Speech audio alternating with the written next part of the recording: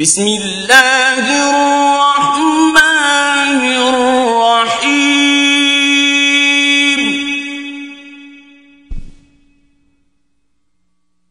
يسبح لله ما في السماوات وما في الأرض. له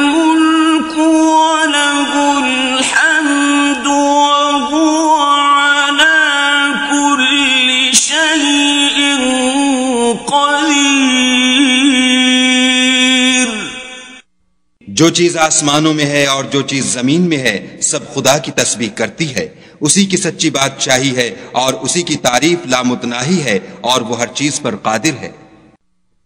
هو الذي خلقكم فمن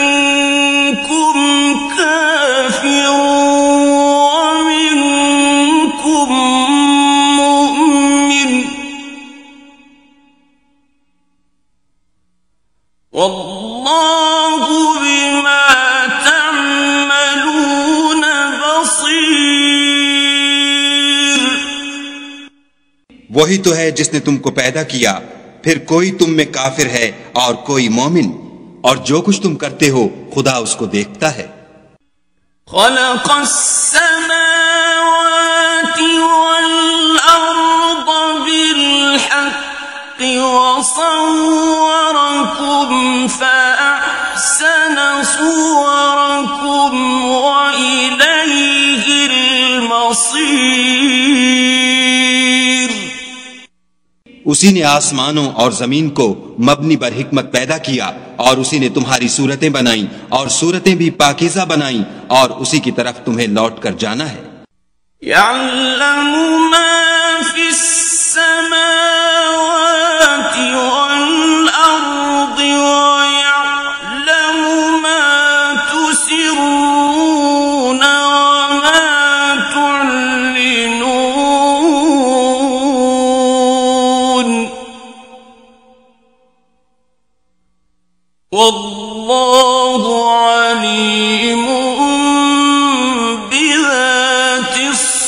الصدور جو کچھ آسمانوں اور زمین میں ہے وہ سب جانتا ہے۔ اور جو کچھ تم چھپا کر کرتے ہو اور جو کھلم کھلا کرتے ہو اس سے بھی آگاہ ہے اور خدا دل کے بھیدوں سے واقف ہے۔ ألم يأتكم نبأ الذين كفروا من قبل فذاقوا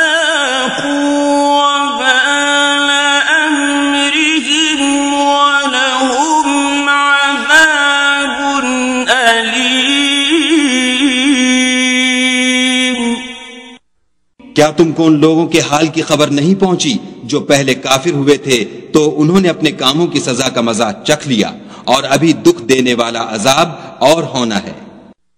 ذلك بأن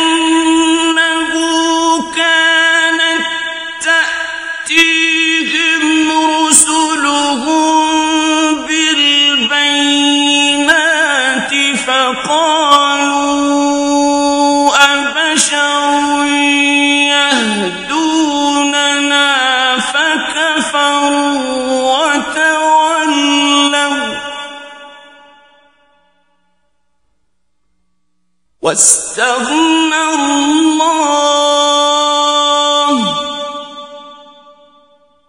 والله غني حميد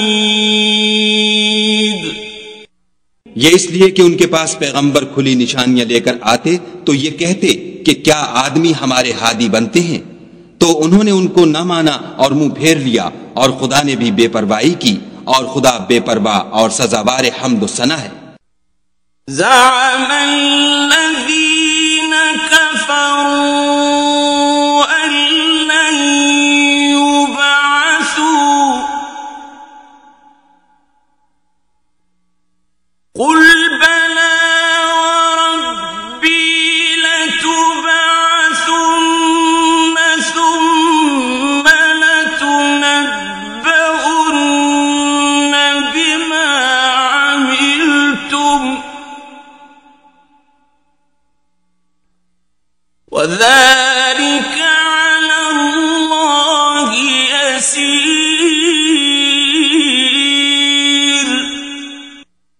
جو لوگ کافر ہیں، ان کا اعتقاد ہے کہ وہ دوبارہ ہرگز نہیں اٹھائے جائیں گے۔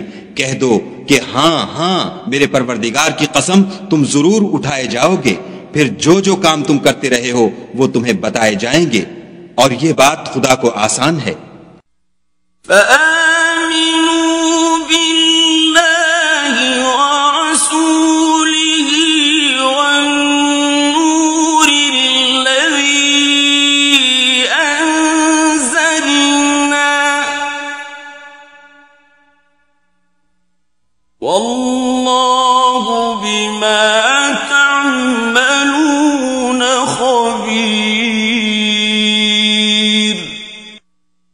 خدا پر اور اس کے رسول پر اور نور قرآن پر جو ہم نے نازل فرمایا ہے، ایمان لاؤ اور خدا تمہارے سب اعمال سے خبردار ہے۔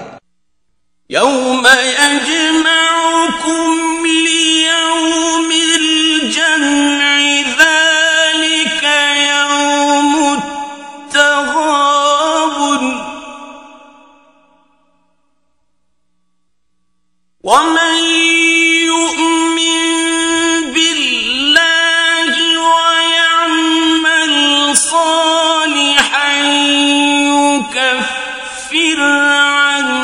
عنه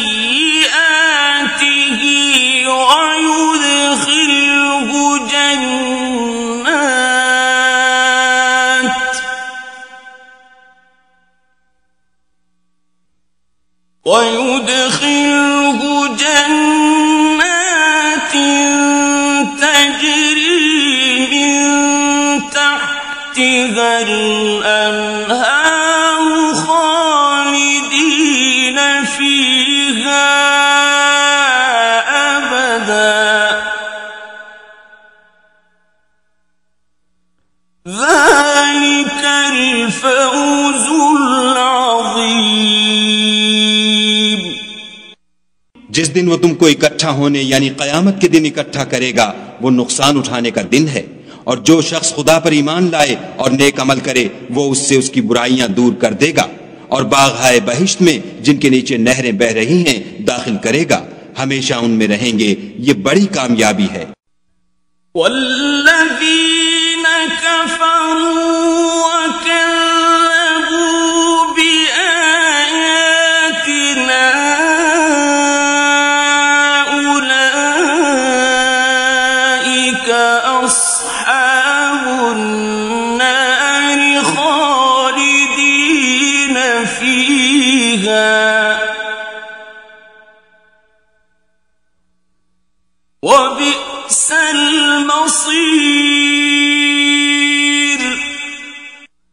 اور جنہوں نے کفر کیا اور ہماری آیتوں کو جھٹلایا وہی اہل دوزخ ہیں۔ ہمیشہ اس میں رہیں گے اور وہ بری جگہ ہے۔ ما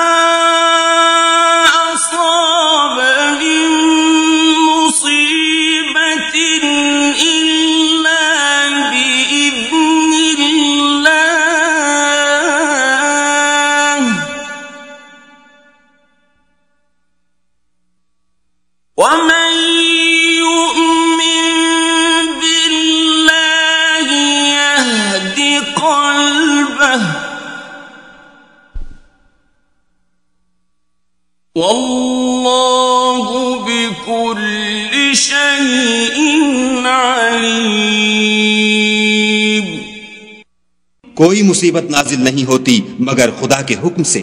اور جو شخص خدا پر ایمان لاتا ہے، وہ اس کے دل کو ہدایت دیتا ہے، اور خدا ہر چیز سے باخبر ہے۔ وأطيعوا الله وأطيعوا الرسول فإن توليتم فإنما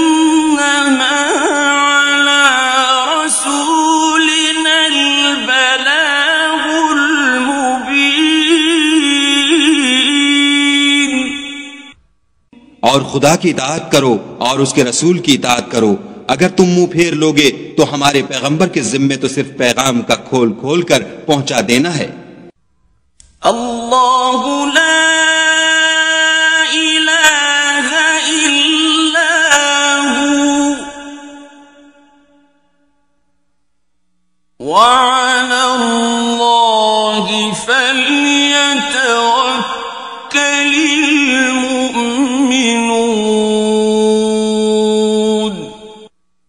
خدا جو معبود برحق ہے، اس کے سوا کوئی عبادت کے لائق نہیں۔ تو مومنوں کو چاہیے کہ خدا ہی پر بھروسہ رکھیں۔ يا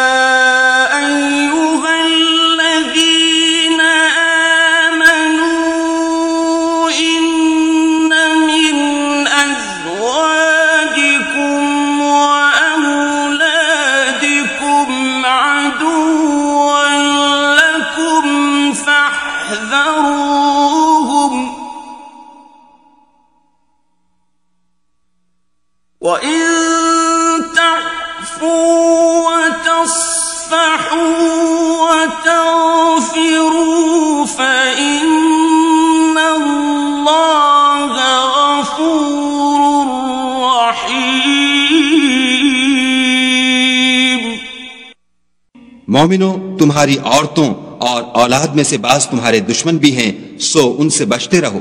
اور اگر معاف کر دو اور درگزر کرو اور بخش دو، تو خدا بھی بخشنے والا مہربان ہے۔ إنما أموالكم وأولادكم فتنة والله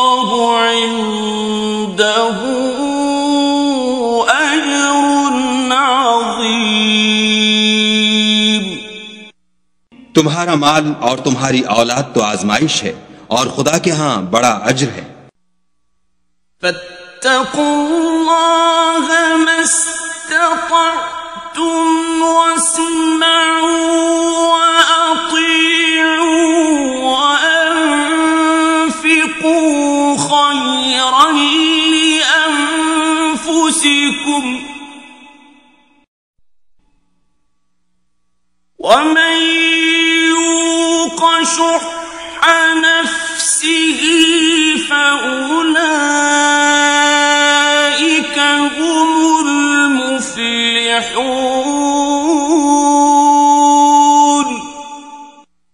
سو جہاں تک ہو سکے خدا سے ڈرو اور اس کے احکام کو سنو اور اس کے فرما بردار رہو اور اس کی راہ میں خرچ کرو یہ تمہارے حق میں بہتر ہے۔ اور جو شخص طبیعت کے بخل سے بچا لیا گیا تو ایسے ہی لوگ راہ پانے والے ہیں۔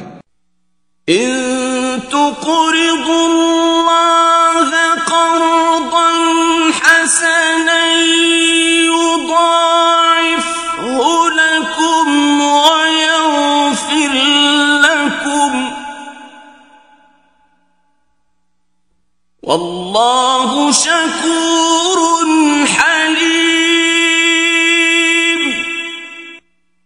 اگر تم خدا کو اخلاص اور نیت نیک سے قرض دو گے تو وہ تم کو اس کا دو چند دے گا اور تمہارے گناہ بھی معاف کر دے گا اور خدا قدر شناس اور بردبار ہے۔ عالم الغيب والشهادة العزيز الحكيم پوشیدہ اور ظاہر کا جاننے والا غالب اور حکمت والا۔